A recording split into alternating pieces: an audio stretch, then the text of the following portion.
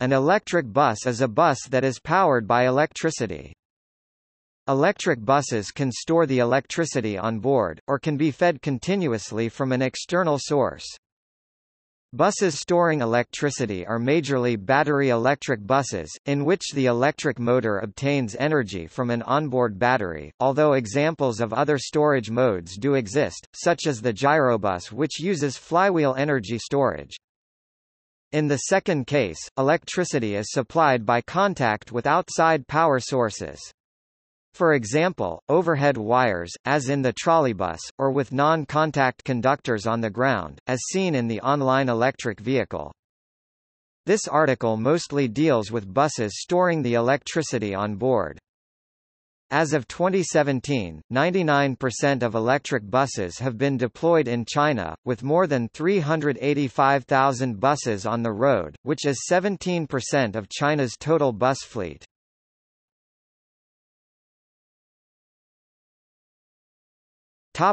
History.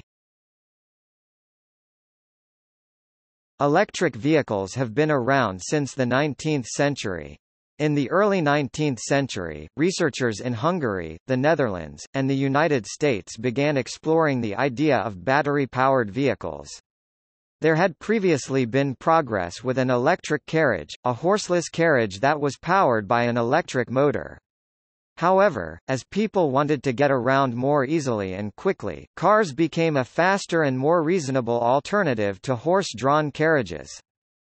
In 1835, American Thomas Davenport is credited with building the first practical electric vehicle, a small locomotive. He developed a battery-powered electric motor which he used to operate a small model car on a short section of track. The first successful electric car was made in the United States in 1890. William Morrison of Des Moines, Iowa, built an electric vehicle that could hold up to six passengers and could reach from 6 to 12 miles per hour. Specifications for the 1890 Morrison Electric included 24 storage battery cells mounted under the front seat. The vehicle could travel for a range of 100 miles before needing to be recharged. This initial invention helped spark interest in electric cars, and automakers started building their own versions around the globe. Due to the extreme sudden interest, electric cars reached their peak popularity by 1900 and made up a majority of all vehicles on the road. At this time electric cars were the preferred vehicles. Gasoline-powered vehicles required a lot of effort to drive, from changing gears to starting the engine with a hand crank, as well as other cons like strong and unpleasant exhaust fumes. However, improvements were made to the gasoline-powered car that caused the electric car to lose some momentum. The hand crank was soon replaced with an electric starter and gasoline-powered vehicles became more affordable. Gasoline cars soon overcame the popularity of electric-powered vehicles. By 1935, electric cars practically disappeared. It was not until the 1970s when a gas shortage hit, causing gas prices to soar, that electric cars entered back into the marketplace. Gasoline-powered cars still remained more popular due to better performance and reliability. The 1990s saw electric cars made more popular as societal concern for the environment began to rise. At the start of the 21st century, the technology of electric cars looked more promising than ever with the release of the Toyota Prius, the first majorly manufactured electric vehicle. Today, electric vehicles are on the rise and continue to advance as more Americans demand a more efficient and eco-friendly vehicle.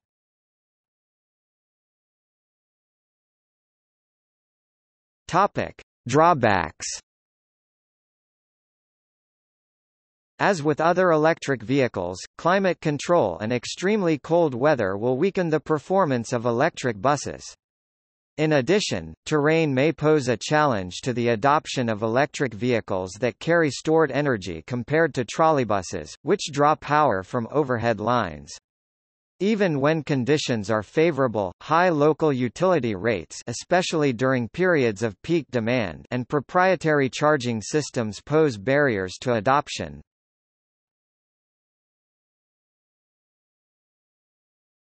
Topic: Battery electric bus. One of the most popular types of electric buses nowadays are battery electric buses. Battery electric buses have the electricity stored on board the vehicle in a battery. Today such buses can have a range of over 200 km with just one charge. These buses are usually used as city buses due to particularities in limited range. City driving is majorly accelerating and braking. Due to this, the battery electric bus is superior to diesel bus as it can recharge most of the kinetic energy back into batteries in braking situations. This reduces brake wear on the buses and the use of electric over diesel can improve air quality in cities. When operating within a city, it is important to minimize the unloaded and rolling weight of the bus. This can be accomplished by using aluminium as the main construction material for a bus. Composite paneling and other lightweight materials can also be used. According to Linkibus their fully aluminium bus construction is about 3,000 kg lighter than comparably sized modern steel buses curb weight 9,500 kg. Reducing weight allows for a greater payload and reduces wear to components such as brakes, tires, and joints bringing cost savings to the operator annually.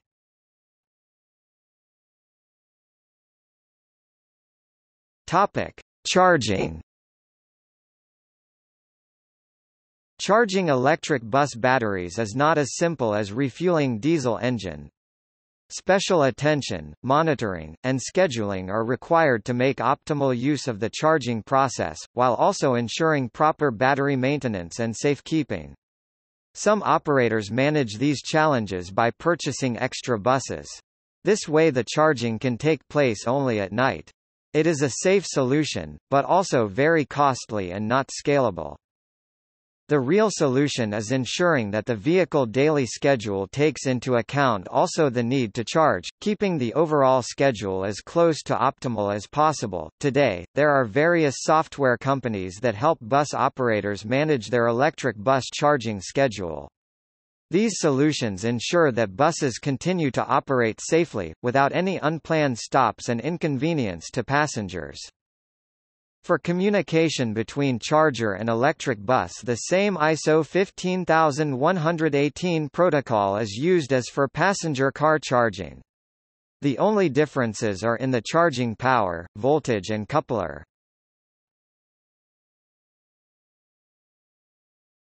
Topic: Pantographs and underbody collectors at bus stops. Pantographs and underbody collectors are integrated in bus stops to quicken electric bus recharge, making it possible to use a smaller battery on the bus, which reduces the initial investment and subsequent costs.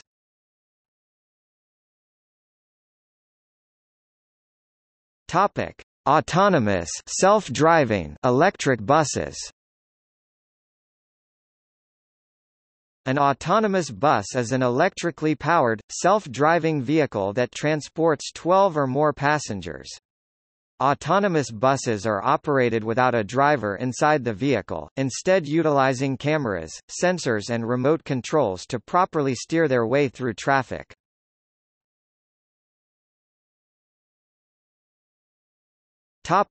Zinc Air Battery There is a 40-foot (12.2 meters) pure electric bus being developed, using a pre-commercial battery technology. Electric Fuel Corporation is developing and demonstrating a 40-foot (12.2 meters) electric bus powered by a zinc air cell, along with an ultracapacitor. The zinc air energy device, often described as a battery, converts zinc to zinc oxide in a process that provides energy to the bus. The bus is not recharged, instead, the zinc oxide cartridges are swapped out for new zinc ones. This bus has shown a range of over 100 miles 160 kilometers in testing and has been demonstrated in Las Vegas, Nevada.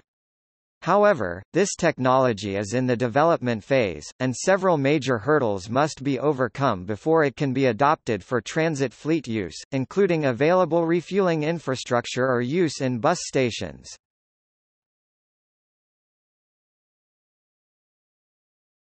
Topic: Capacitors bus.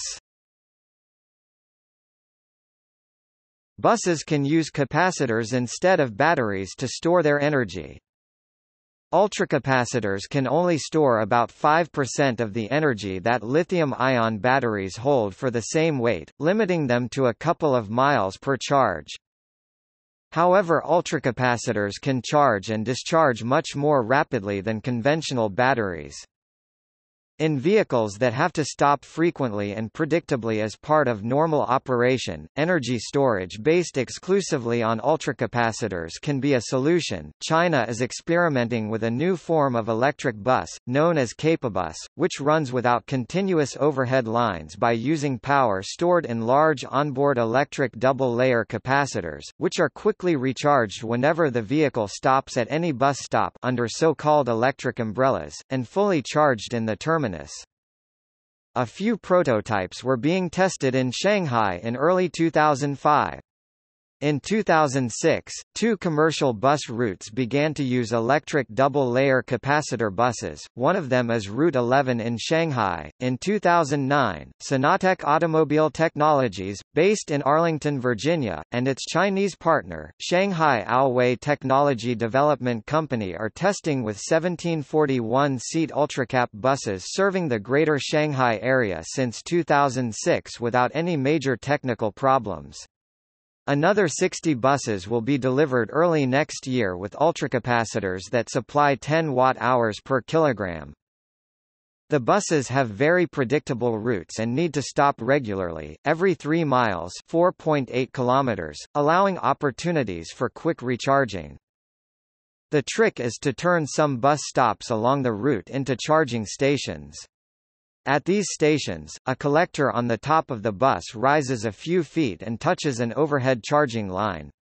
Within a couple of minutes, the ultracapacitor banks stored under the bus seats are fully charged.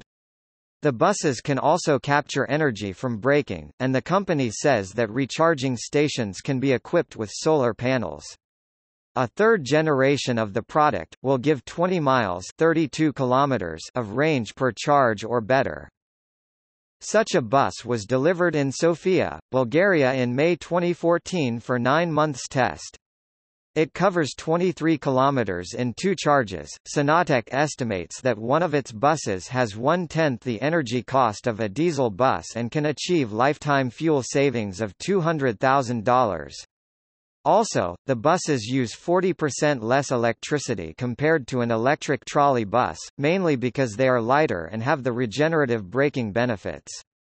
The ultracapacitors are made of activated carbon, and have an energy density of 6 watt-hours per kilogram for comparison, a high-performance lithium-ion battery can achieve 200 watt-hours per kilogram, but the ultracapacitor bus is also cheaper than lithium-ion battery buses, about 40% less expensive, with a far superior reliability rating. There is also a plug-in hybrid version, which also uses ultracaps.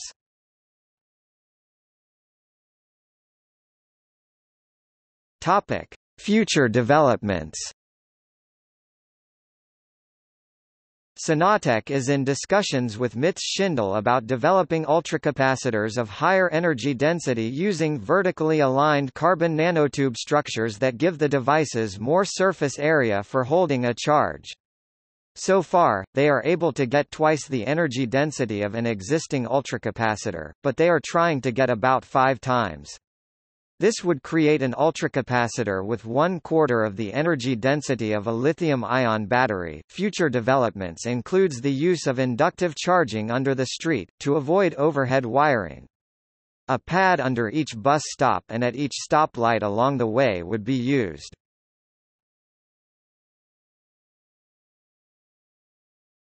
Topic: School buses. In 2014, the first production model all-electric school bus was delivered to the Kings Canyon Unified School District in California's San Joaquin Valley. The Class A school bus was built by Trans-Tech Bus, using an electric powertrain control system developed by Motive Power Systems, of Foster City, California. The bus was one of four the district ordered. The first round of SSTE buses as they are called is partly funded by the AB 118 Air Quality Improvement Program administered by the California Air Resources Board. The Trans-Tech motive vehicle has passed all KCUSD and California Highway Patrol inspections and certifications. Although some diesel hybrids are in use, this is the first modern electric school bus approved for student transportation by any state. Since 2015, the Canadian manufacturer Lion Bus offers a full-size school bus, Elion, with a body made out of composites. It is a regular production version that is built and shipped in volume since early 2016, with around 50 units sold until 2017.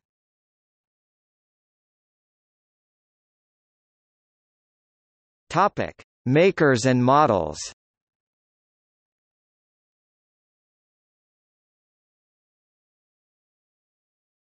Topic: Transit use.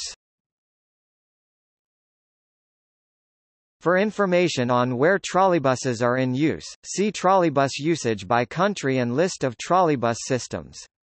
Transit authorities that use battery buses or other types of all-electric buses, other than trolleybuses. Topic: Asia.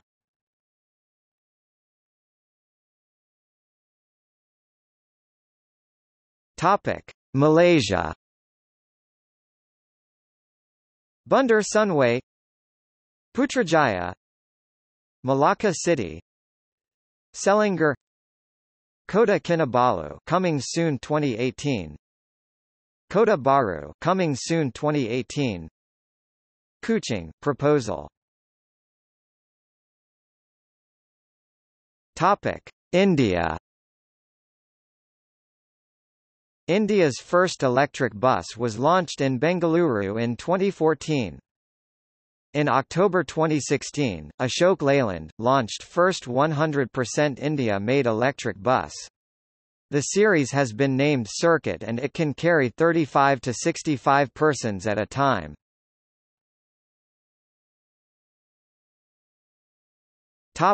China As of 2016, 156,000 buses are being put into service per year in China. Beijing Bengbu Changsha BYD X180 vehicles.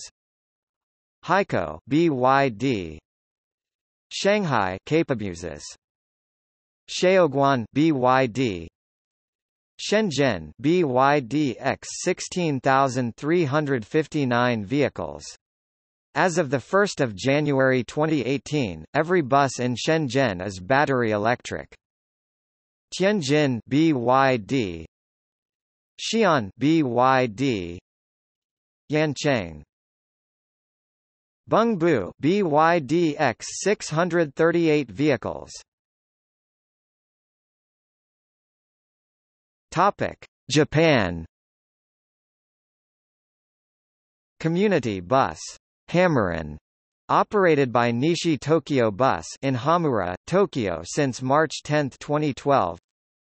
Community bus Sumida Hyakei operated by Keisei Bus in Sumida, Tokyo since March 20, 2012. Kitakyushu City, Japan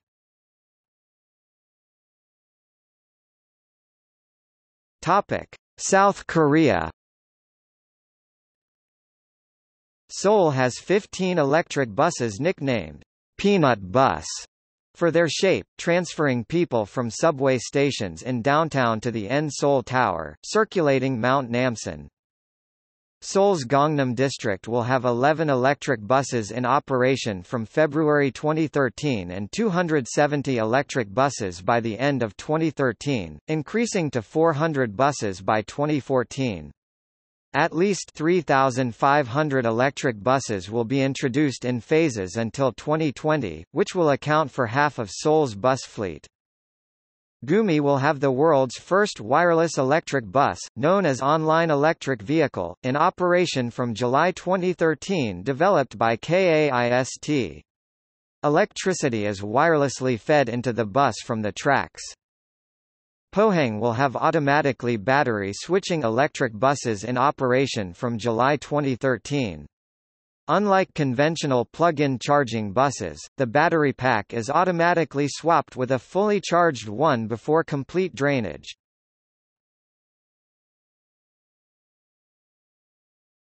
Topic: Europe.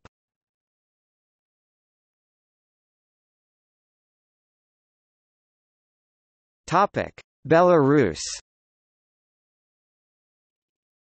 E433 Vitoryvet Max Electro Minsk. E420 E321 Topic. Finland. Espoo Kobus EL 2500 Bus 11 Friisila Tapiola Center. Espoo Linkker 2 vehicles, Bus 11 line Tapiola Center Friisila Topic: France. RATP Paris, line 341 is the first line of 100% electric full-size bluebuses.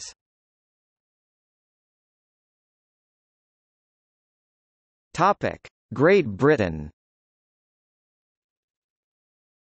51 electric buses for the 507 and 521 bus routes in London, delivered jointly by BYD and ADL.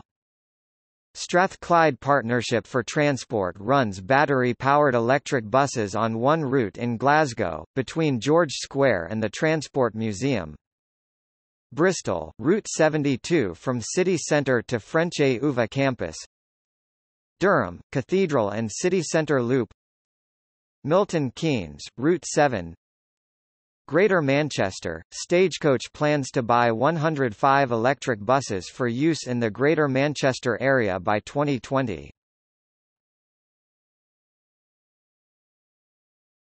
Topic: Italy.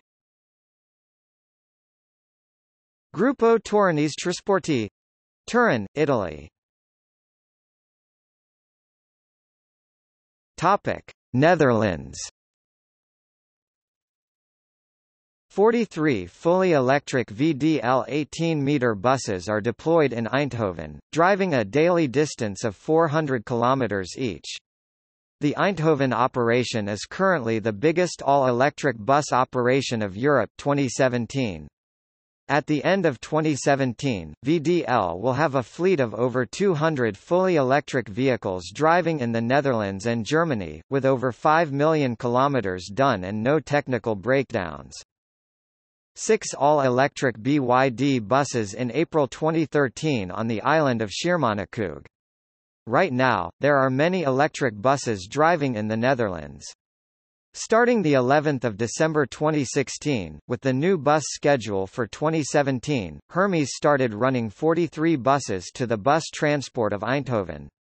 Arriva started running 16 electric buses on Vlieland, Ameland and Schiermonnikoog, and several more in Limburg.